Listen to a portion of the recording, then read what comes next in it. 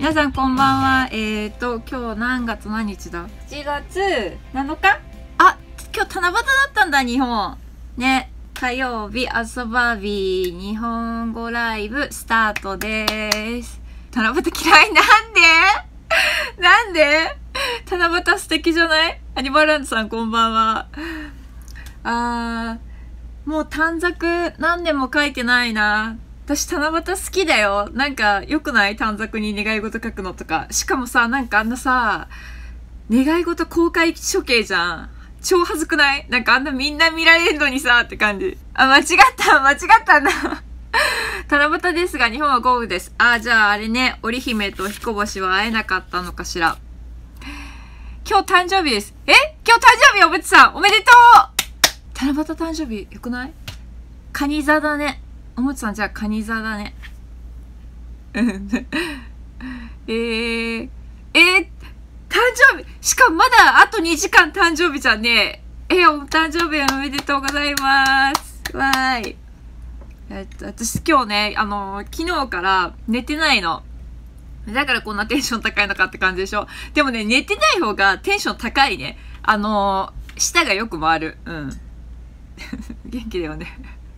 いただきます。だからね、もう実はフライングで飲んでたし、あの、チョコパイももう1個いただいたんですよ。だから、今日は、見てよ、ポッキー。ポッキーグラスに入れるとかマジ飲み屋かよって感じでしょ？いただきます。なんかこれ美味しいやつじゃない？ほら、ちょっと、可愛いいイチゴのやつね。今日もめっちゃ可愛いいね。めっちゃ嬉しいこと言ってくれる。ピアス可愛いです。ありがとうございます。これ私のね、作ったやつね。で、そうそう、前からさ、もう作ってあったんだけど、この間、あの、床のレジン掛けしたので余ったやつで、ここにもね、レジンかけたんですよ。だからね、前よりもね、ちょっと光沢があって、ちょっとまたアクセサリー感が増したっていう。顔色がいいよ。多分、寝てないからだと思う。やっぱ一回寝ると、寝て5時に起きると、眠いから、うん。今日の全身コーデみたい、全然ね、今日、あ、今日ね、この T シャツの説明したかったんだよ。普通に、下は、下さ、私これよく履いてるって思うでしょ？これね、こればっか履き、履い、ヘビロテしてるんじゃなくて、私これ2足持ってんの。だからこれよく履いてんの。ちなみにね、言っとくとね、洗濯してないとかじゃないからね。この T シャツさ、これ珍しくない？珍しくないっていうか見たことなくない？これめっちゃレアなんだよ。で、ここ、新しいやつなんだけど、マーブルなのね。でね、ここあずちゃんなんかついてるって思わなかった？なんか毛がついてるよって思ったでしょ？これなんかプリントミスで、ここになんかついてて、で、私これ、で、アマゾンで買ったんだけど、アマゾンでね、オフィシャルのバービーの T シャツが買えるのね。で、しかもアマゾンしか売ってないの。で、日本にはそれ、発送してなくって、だから私今回、その T シャツ結構売ろうと思ってるんだけど、で、それでお試しでさ、これ買ったんだけど、そしたらさ、こんなのついててさ、いでも返品しようと思って、で、返品手続きをしてたら、こっちの Amazon って、もう、すごいカスタマーの量だから、で、しかもみんなしょっちゅう使うじゃない？で、その返品とかなんてもう、すごい数だから、1日に。だから、なんかこれ返品手続きしようと思ったら、もう、あの、返さなくていいですってなって、なった。でも自動的になるんだよ、そういうのも。だから、もう持ってていいです。返金はします。でももう持ってていいです、みたいなのがたまに起こり、起こるのね。どういう、どういう、なん、何の時にそうなるかよくわかんないんだけど、たまにあるんだ。で、これだから私これ、なんでこれの時にって思ったけど、これだだから白い点がついてるまま着てまーす、みたいな。だからこれは売れなくって、これ本当はね、売ってもこれめっちゃ可愛いと思うんだけど、売りたかったんだけど、これ本当は仕方なしに自分で着てますっていう。あ、なるさん久しぶりじゃんなるさん久しぶりじゃない？嬉しい。髪がピンクやから黒い服が入る。うん。そうだね。もうね、根元もなくなったしね。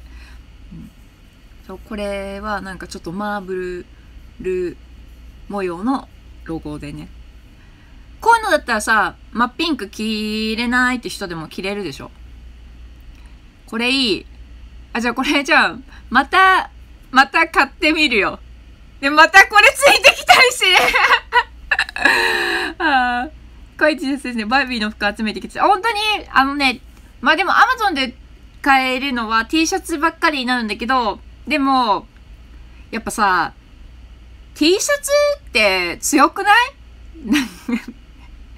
い？やっぱ、流行り、流行りっていうかさ、関係ないしさ、なんか私、見たくさ、まあ、ちほども持たなくてもいいと思うけど、私ついにね、T シャツ200枚とか、バービーの T シャツ。やばいよね。で、それで、ギネス乗りたいな うん。可愛いバービーの T シャツはいっぱい売ろうと思います。あ、まいさんおはようございます。お肌潤いやらに美しいわ。そんなことない。そんなことない。日本語。水星逆行なのかなかなか止まって見に来れなかったあ、そうなんだ残念。残念。もうすぐ終わるからね。うん。で今日は、えー、っと、結構喋っちゃったね、もうね。前半、カラーリビール。カラーリビールバービー、あの前覚えてる？なんかさ、お水につけると、あの、シュールなペンキに塗られたバービーが、全貌が明らかになるやつだったでしょ？あれがまた新作が出て、あれなんかすごい人気みたいで、また新作が出てね、で、今度はあの、大きいバービー、バービーサイズと、あとバービーの一番末っ子の妹のチェルシーと、そこ、今まではバービーとチェルシーだけだったんだけど、今度はね、ペットバージョンも出たの。で、その3つ全部送っていただいて、マテルさんから。ポッキー持つ手がファビュラス。早く食べろって感じでしょ？で、ザラのバービーの T シャツ買われましたか？あのね、で、私なんか、え、あずちゃんケチーとか思わないでね。で、ザラってさ、絶対セールになるじゃん。セール待ってんな。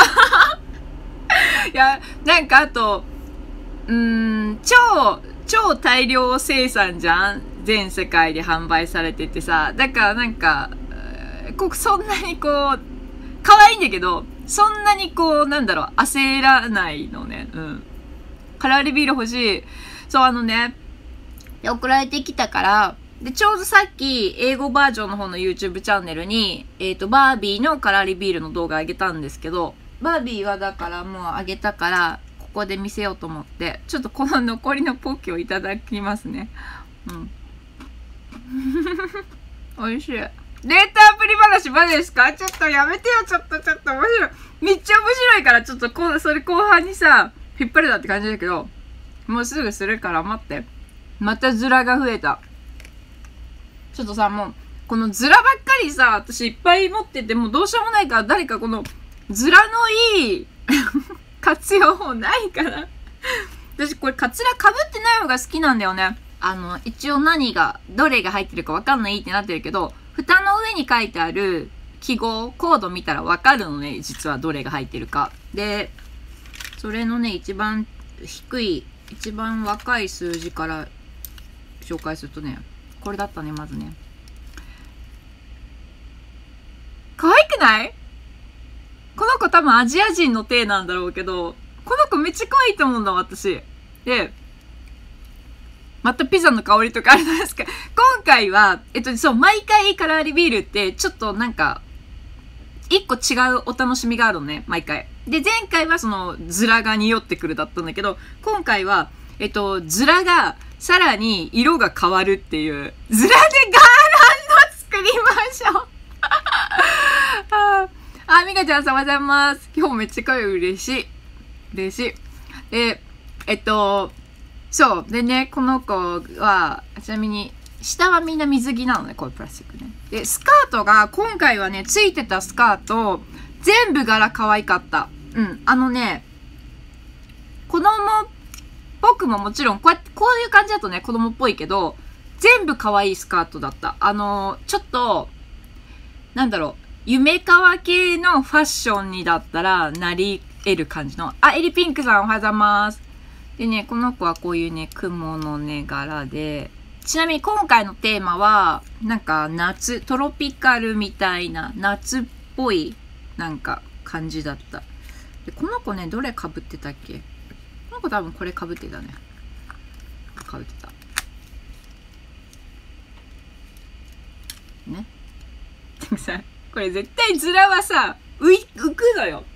私もこの子さ、あのね、この子ね、この私のさ、ミニミーの新しいボーイフレンド候補の、これ似てん、似てるっていうかなんか被るから、これのなんかあの、双子の妹っていう体にしようかなってちょっと思ってます。どんどん増えるバービーたちどうやって保存してますか？あのもうそこら辺にいっぱい置いてます。あの、箱開けてる限りは全然置けます。はっきり言って。で、箱開けてなくても、例えば、壁に置いてあるやつとかも、あのもうね、奥行きがどんどん、だから、3、だ隠れてる人とかが出てくるのよ。うん。髪色変わるのはリカちゃんの夢色カラーチェンジ的な。わかんない。私、リカちゃん全然わかんないんだよ。あささん、オンザ名義、ね、めっちゃ寝てありがとうございます。で、そう、だからね、この人の妹っていう体にしようかなと思ってて、このアジア人はね。で、あのね、これのシリーズね、何がいいかって、靴とかが結構可愛いのついてる。うん。だから、お人形がちょっと、なんかこれ得意、得意、タイプじゃないわっていうのに当たっても、何かしら使えるのがある、絶対。スカートなり、靴なり。で、二人目に出たのがこの子かな。この子が一番好き。めっちゃ可愛い。これさ、子供用のにしておくにはもったいないぐらいの綺麗なお顔じゃない？ずらなしツェギーみたいに、そう、そうなの、ツェギーみたいなの。だから私は、えっともう、これはいつもゲットした後は、あの、ずらかぶせないです。このまんまにして、ベリーショートでかっこいい感じにする。壁に積んでいくんですよ。エリナさんこんばんは。他の人のライブからアーサさんのライブ来たらめっちゃテンション高くて元気になる。お邪魔しようかと。え、どんなテンション低い人のライブ見てたんですか？逆にじゃあ私今日ね、寝てないからこんなテンション高いの。もう今度から寝たくないね。なんかもう今ね、あの、朝ほら何時に起きなきゃいけないとか、じゃないから、今、今もう生活的にね。うん。こっちの方がね、合うかもね。うん。でさ、この子さ、ほんと顔可愛いんだよ。めっちゃ可愛いでしょ？で、こうなんかさ、あれ、顔にタトゥー入ってるいかつくないって思った？で、これはちなみに、えっとね、氷、温めると消える。で、また氷で冷やすと出てくるの。待って。ほら、見て。消えた。すごいでしょ？魔法使いみたいでしょ私。ほら。消えたでしょ？で、あ、ちょうど今日ポッキーの下に氷あるし、ちょっと待って。見せたい。実演。滑る待って、いくよ。ないでしょ？ないでしょ？ほら出た出たお月様が。こんな感じ。これ、子供は楽しいよね。てか、アラフォーも楽しんでるけど。で、この子は、えっと、私普通の服着せて、うん、絶対可愛くしてあげたい。この子髪ピンクにし、髪ピンクに塗ろうかななんなら。ね。顔かわいいです。かわいいでしょマジックショー？ほんとそう。そうなの。この子は、顔すごい可愛い上に。でね、この子だけは、ズラをかぶっても可愛かった。ちなみにこの子はこれがついてたのね。ちょっとさ、こういうシンガーいない？誰かわかる人いない？ほら。こういうシンガーいるでしょ？いない？い、いない？魔法少女そう。これ可愛いなと思った。うん。この子だけは、あの、うん、これ被っててもいいかな。で、ね？ピンクになったっていうね。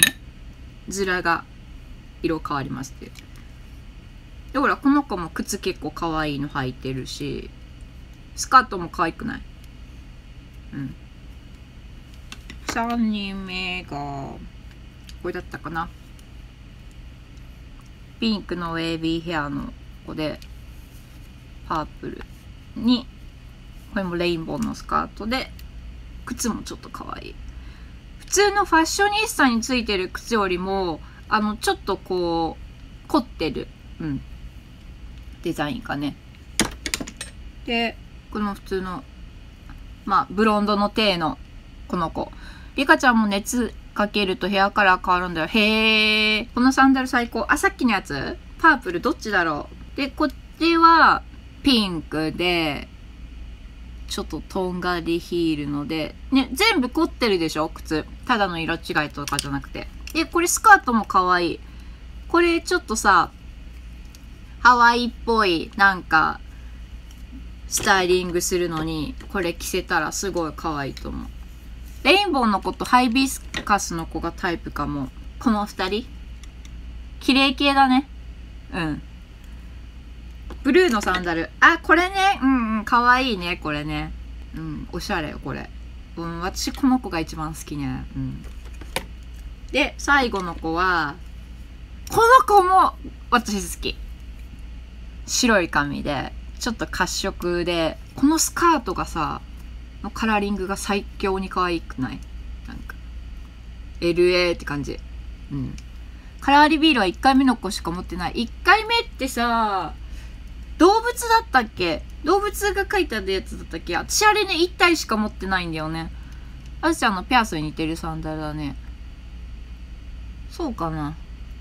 いや、これね、T ストラップだね。で、これは、えっとね、これさ、あの、形可愛いからさ、これ、むしろピンクじゃなくてもよかったって、なんていうのほら、ここが網網になってるやつあるじゃん。ナチュラル素材の。その手なんだよ、これ。すごいよね。ここだけだからベージュに塗ってあげればいいかな。この子可愛いな。まだあった、可愛い。動物パンダが欲しかった。あ、そう、動物だったね。やっぱり第一弾ね。うん。そう、これも可愛いです。うん。っていうね。これが、全然ズラ見せるの忘れてたね。でもね、この子はズラがね、この普通のブロンドだったの。なんでこれにブロンドなのって思ったんだけど、えっと、氷やるとオレンジになった。で、この子は、ちょっとカーリーな、ブロンドにピンク入ってて。これね、パープルはもう氷やった後だね。で、そう、この子がね、こっちの方がだから地毛っぽい感じよね。うん。そう。これはこれでね、あち、この子はね、意外と、これ、被せた方が可愛いかもなって思っちゃった。っていうね、こんな感じです。これが、えっ、ー、と、カラリビルバービーバージョンね。うん。で、まだチェルシーは開けたけど、まだ小物開けてないから、今日はこの後チェルシー開けて取ってあげようかなって思ってます。さっきもさ、誰かに言われてくる。データアプリ速報って。私、前回いなかった人のためにちょっと言うと、3年ぶりぐらいに、あの、データアプリ始めたのね。で、なんか、まあ、彼氏は別にまあ、いつでも、あの、ご縁があって、いい人が、素敵な人がいたら別にいつでもできればいいなぐらいに思ってて、そのなんか、いやもう絶対彼氏ないと死んじゃうみたいな感じではないけど、まあ、いたら楽しいよねぐらいなんだけどさ。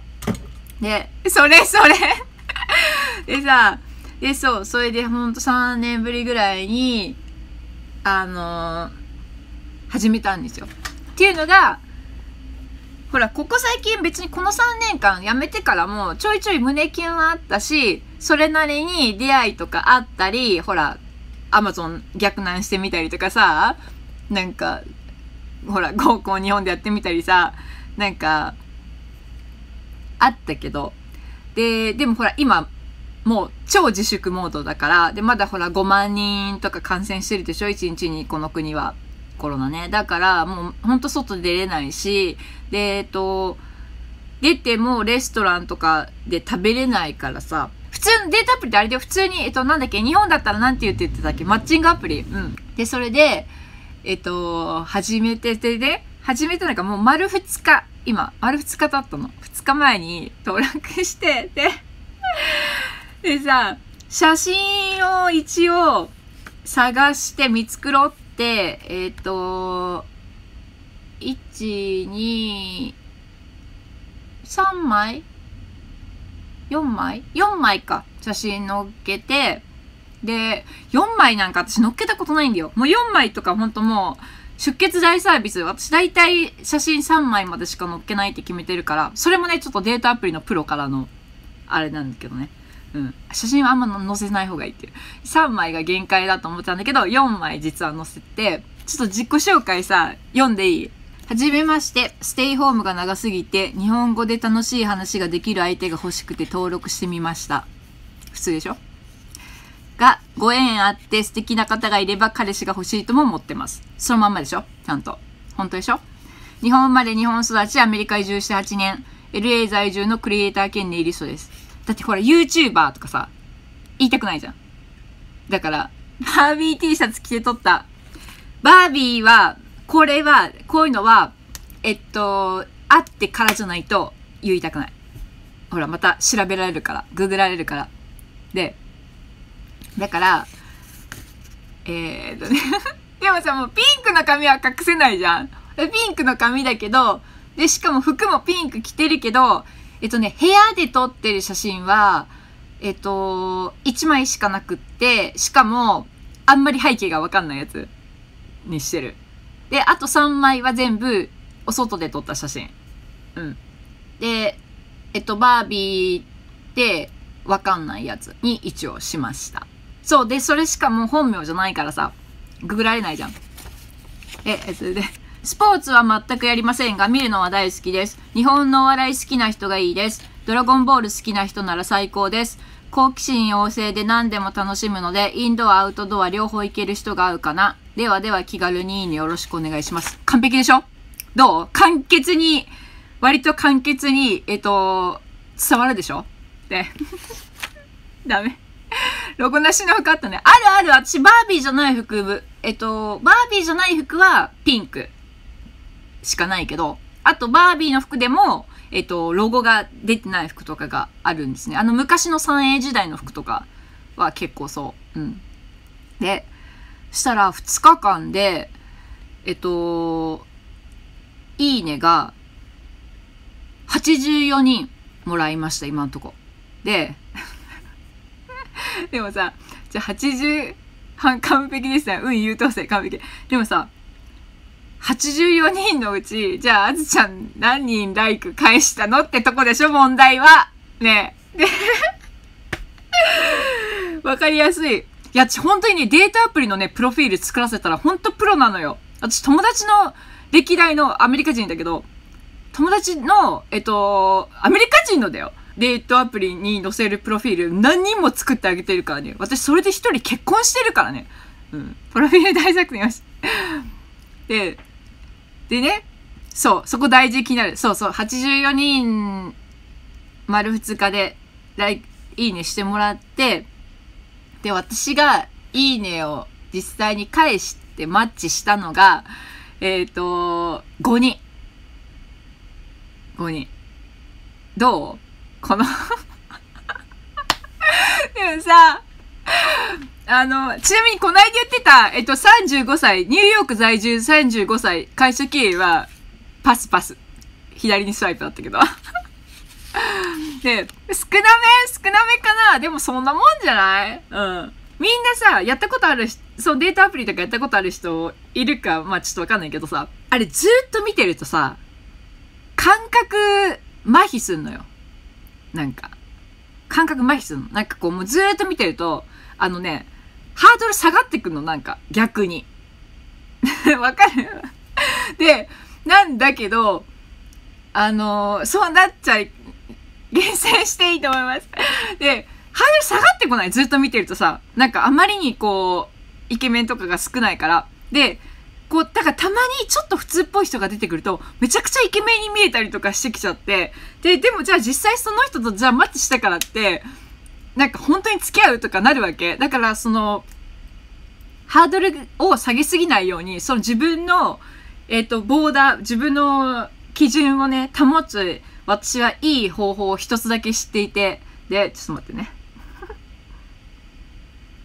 それは、みんな、友達とかがやってても、その質問したらみんな考え直すんだけど、あの、私はいつも迷ったら、ちょっとこの人どうだろうって言って。で、私はほら、スペック気にしない人だからさ、まずはその、フィーリングというか、あとは最初はやっぱ顔しか出てこないから、うーんと、もちろん顔が一番大事ではもちろんないけど、そして私は別にイケメンが超好きってわけでもないけど、でも、ほら、人ってさ、絶対にその、要は生理的に無理っていう顔があるじゃん、人、誰でも。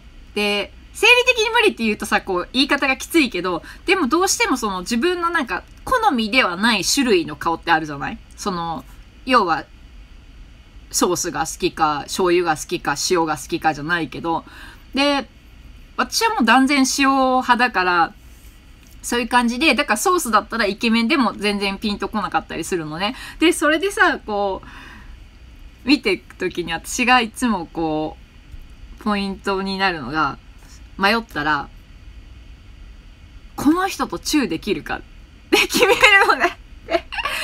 この人に、この顔とチューができるかで決めるので、もう、もうそこなの、絶対。で、あの、あのもう、チューできれば、あの、チューできれば結婚もできる。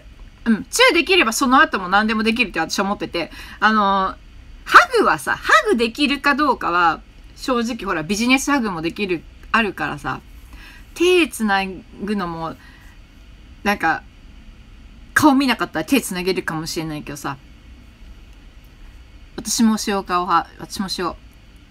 結構塩の方が人気なのかなチューができるかどうか。わかるわかるわかりすぎて怖い いや、本当に私なんかもう迷ったら、ここはチューできるっつって思って、はい、無理って言って、あ、いけます みたいな、そのどっちかで決めて。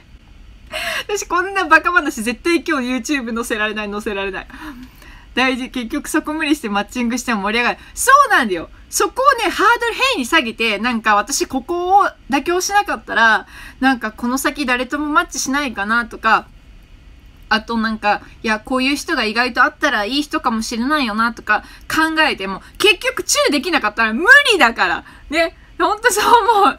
なんか、そこだと思う。だからね、私はいつもその質問を自分に問いかけてで、結局まあこの84名の中から、えっと、チューできるのが5人だったんだけど、で、これもう、ここ女の子しかいないしさ、話せるけど、それたやばい。面白い。最高爆笑。で、あの、二人ね、言ってきてくれた。ちなみに私今38で、はっきりしてて、本当にそうだ。でしょ？もうチューできたらその後もできるでしょ？その いや、私そこだと思う、本当に。うん。チューできたら結婚もできるし、うん。一緒に寝れるし、うん。なんか 二人言ってきてくれた人が、ちなみに、マッチした人5人とも全員、全員年下。うん。ちょっと、熟女好きかはどうかはわからない。うん、聞いてないけど。で、あの一人が、ちなみに二人ともメッセージくれた二人ともアメリカ在住です。でね、私今回思ったので、アメリカに住んでる人一応対象で探してるんだけど、結構遠くの州とかもいるのね。全然東海岸ともマッチあり得るし、あと、カリフォルニアの中でもサンフランシスコの人とかさ、結構いるんだけど、なんかさ、その方がやっぱいいなと思って、その、遠距離今だったら楽しめる年齢だし、自分の状況的にも忙しいし、あとこんな状況だしさ、そんな積極的に出かけたくないしさ、あの、いや、ほんと、アシャさんの元気爆発するんだよ。いや、てかさ、いや、そのさ、あの、さっき見てらっしゃった方のライブはさ、もしかしたらもっとあの、なんかためになることとかおっしゃってたかもしれないけど、まあこんなね、自分のやってるね、データアプリの実況はしないよね。こんな恥の、恥をね、こんな公開する人はまあなかなかいないかもしれない。できる、できる、本当だわ。さあ、私下がいい絶対。リアルでも SNS でも結局はね。で、そう。でさ、多少の遠距離はありだなと思ってて、で、二人とも、でも一応アメリカで、さ、遠距離の方がいいじゃん。だってさ、それこそその今日、Tinder でバー繋がって、じゃあ今日すぐなんかもう、やりたいです、みたいな。なんか そういう人いないじゃん、絶対遠距離だ。でも、遠距離って分かっててもメッセージしてくれるっていう人はさ。ああ、木曜日これまた私、あれだね、なんかちょっと進展あったらまたなんかね、報告するよ。ちょっと今度からさ、こういう話ばっかりになりそうじゃない？ちょっと。大丈夫みんな？うん。本気で話してくれるから楽しい。私だって俺にはわざわざせか大好き。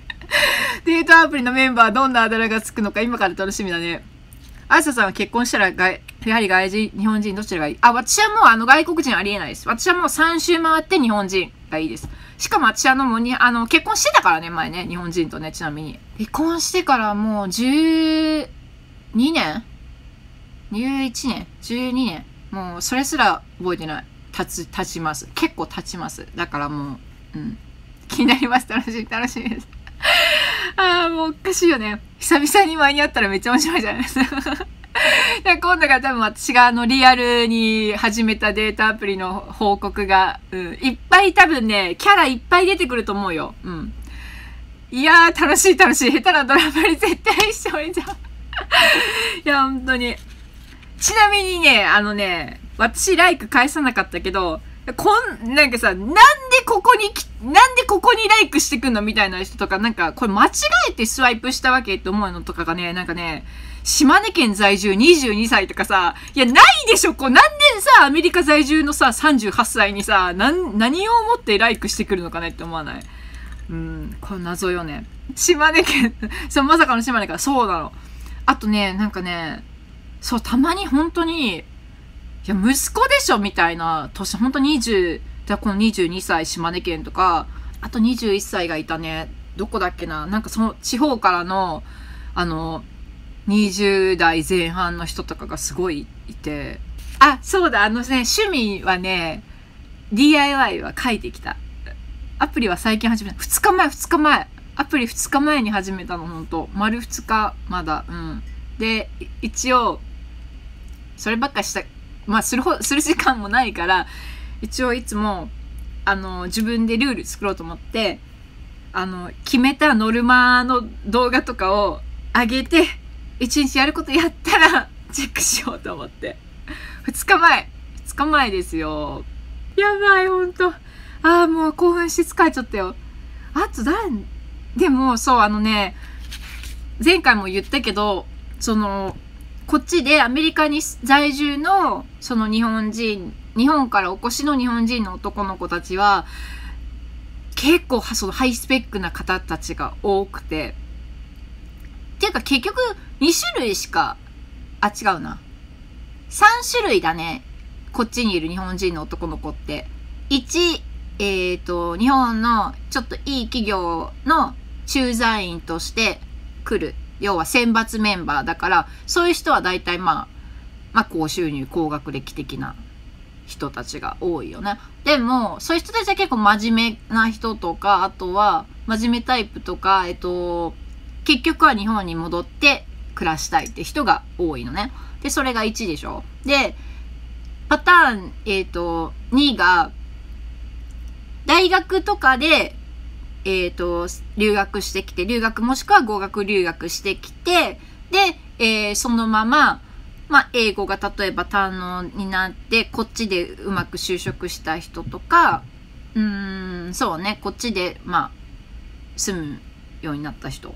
で、そのパターンでも、えっ、ー、と、だからまた大きく分けるとね、語学留学から、で、そのまま、何仕事始めるパターン。私みたいな感じの人とかだと、結構寿司職人とかやってる子が多いのね。寿司職人とか、あと建築系とか、その、何技術職みたいなことをやってる男の子たち。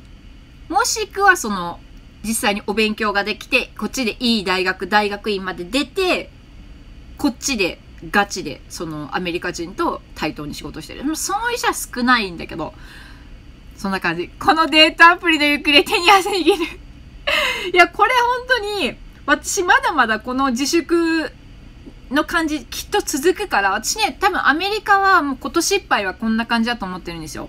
正直。うん。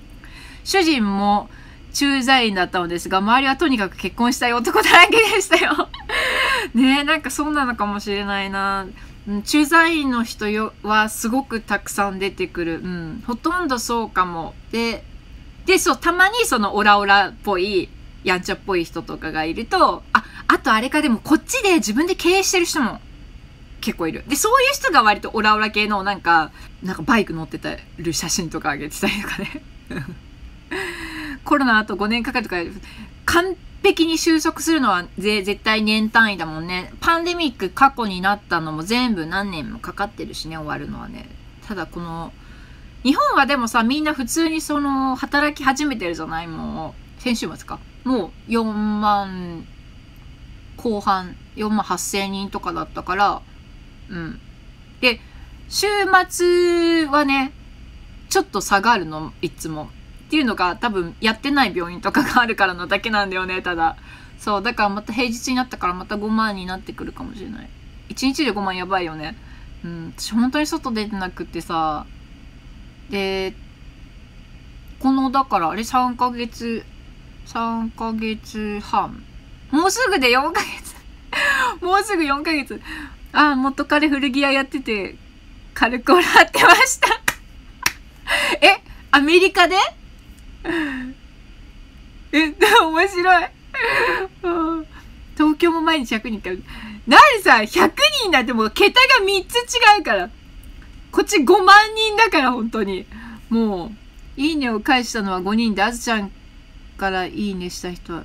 違うよ。私がいいね返したのが5人だよ。ああ、私からってことか。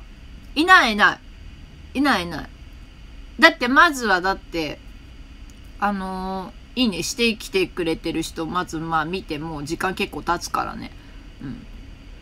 ニューヨークでフリギアです。なるほどね。おらね、軽く笑ってました だけどなんかそうそうそう。そのだ会社経営パターン。うんうん。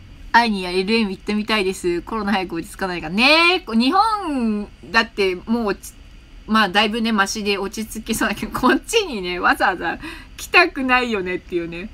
そうね。だって今まだマックス、こんな感じでしょ？だから、だいぶかかるんじゃないかな、多分。うん、5万人。商社マンは転勤族だよね。私が知ってる商社マンは若くてもお給料額半端ないから遊びにいなイメージ。めっちゃ忙しいから若いうちにがっつりお金食べてやめて本当の夢がないし。あー、あー、どうなんだろう。でもさ、それ昔で、でしょ？今のさ、若者は冒険しないんじゃない？きっと。会社にいるんじゃない？どうだろう。私、ゆとり世代好きだからね。うん。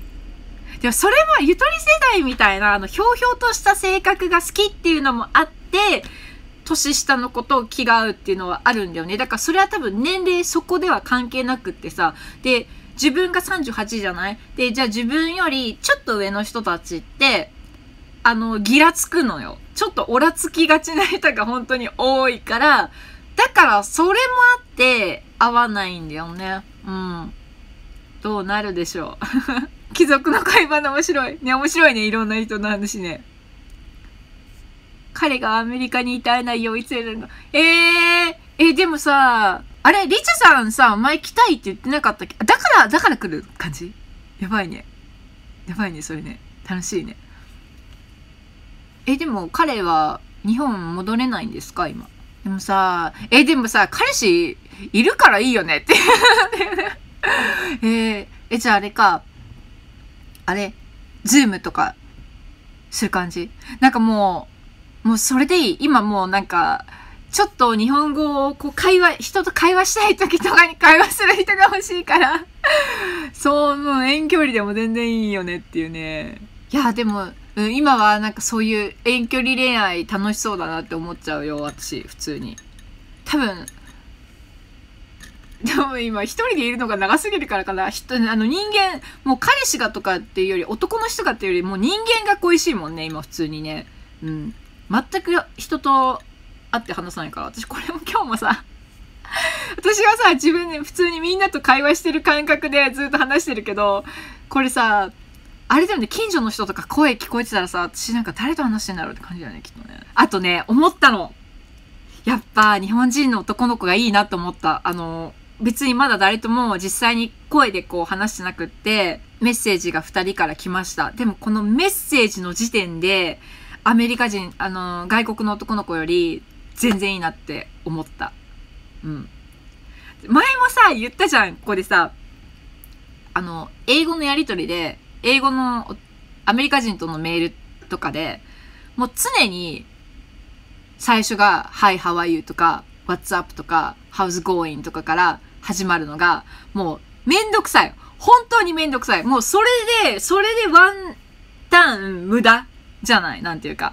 で、私すごいあのやりとりが嫌いで、で、まあでもそこはね、言語だから、合に行っては合に従いで、もちろんやってるけれども、なんか、日本の男の子だとやっぱ、それがさ、なくてさ、そのワンタン目から、まあ、はじめましてなり、こんにちはなりは一言あるけど、その次からもう、なんだろうな、もう次のさ、会話のファーストタッチっていうかさ、それができるところがすごくいいなって思ったんだよね。うん。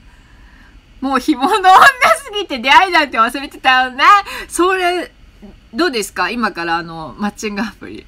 こっちの人ね、アメリカ、特にまあ LA だから、ハリウッドとかビバリーヒルズだからっていうのはあるけど、やっぱそこはみんな年齢関係なく、いつまで経っても胸キュンというか、その恋、恋愛する気持ちを忘れてないっていうか、だから、旦那さん、日本はよくさ、やっぱそのもう恋愛感情がないくても結婚関係、婚姻関係続けてる夫婦なんてもう5万といるけれども、アメリカはやっぱ少ない気がする。まあ離婚率すごい高いけどさ、離婚してないカップルはやっぱりラブラブだよね。うん。アシャさん、ストロベリーさん優しいニューヨークの大学の先生してる中国あ思い出した思い出したあの、中国の、中国のあの、さ、毛の話とかしたよね。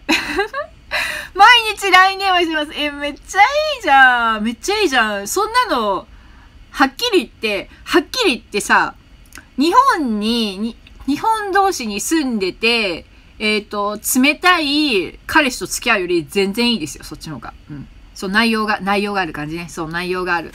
うん。で、し、あとね、やっぱさ、英語ってすごくシンプルだなって思うのね、いつも。あのーまあ、多少は人によって、その、文章の組み立て、組み立て方の癖とか、よく使いがちなフレーズとか、あとまあ、言葉の丁寧度とかって、もちろん人によってそれはあるんだけれども、でも、でも、でもやっぱり日本語の方がもっと多様じゃない？うーん、方言の種類ももちろんそうだけれども、なんだろうな、やっぱりちょっとのニュアンスがさ、日本語の方がやっぱり面白いなと思って、少しのそのファーストタッチでもう、最初のもうさ、ちょっとその人の人となりが少し垣間見れる感じがやっぱり面白い。で、私は特に言葉がすごく大好きな人だから、なんか、うん、例えばさ、一つの言葉にしても、それを私は、例えばひらがなで打つか、カタカナで打つか、漢字で打つか、とか、ものすごく結構こだわるのね。で、もしかしたら相手はそれ考えてないかもしれないけれども、でもそういうのを見るのもすごく楽しくって、うん。そうそう、干物は味が凝縮されていて美味しいよ。まだまだこれぐらいで頑張る。そうそう。でね、こっちの人、そう、さっき何が言いたかっていうと、あの、私、67歳、68歳、67、8のお友達で、えっと、まあ、ネイルのお客さんなんですけど、彼女は、5年ぐらい前に、まあ、要は日本で言ったらな、何？熟年離婚だよね。して、まあ、二人とも超お金持ち、旦那さんも奥さんも。なんだけど、えっと、熟年離婚して、で、旦那さんはね、その3年後ぐらいに再婚して、で、えっと、別にあれだよ。不倫してたとかじゃないよ。でもちゃんとそのもう、何？別れてすぐにデートアプリとかさ、普通に出会いがあって。で、その私の友達の方も、ガンガンデートアプリやってるからね、67歳とか8歳で。うん。で、普通にマッチとか普通にして、そしてデート行ってるからね、面白いよね。うん、そう、毛がね。でもチューできます。ほら、毛じゃないのよ。問題は毛じゃないのよ。チューができるかどうかなのよ。お笑い大好きな彼で日本語で会話します。覚えてる。覚えてるよ、あんなに。あいや、そう、チューできれば大丈夫。うん。もうチューできなくなったら終わりだと思う。私だから付き合ってる彼、歴代、えっ、ー、と、元彼とかでも、もう愛が冷めた人とか、チューすんのが嫌になるの。何よりも。もうチューできない、もう、すっごいめちゃくちゃ気持ちのないチューとかしだしたらもう終わりね。うん。で、もう2本、2分過ぎちゃった。ちょっと、あさって、えーっと、報告することがあるかないかわかりませんけど、日本のおばあちゃんとは違うの。ねえ、元気だよね。だから私、まあ日本でさ、それやったらさ、まあ周りにめんどくさいこと言う人がいるのかもしれないけどさ、なんかでも、そういう人とかやっぱキラキラしてて楽しそうだもん、普通に。うん。今日もありがとうございました。こんななんか、私のこんなデートアプリの話を聞いてくださってありがとうございました。でも報告すらほら私する人いないからさ、見ないできてすごい嬉しい。じゃあ、じゃあね、また、何かあったら報告します。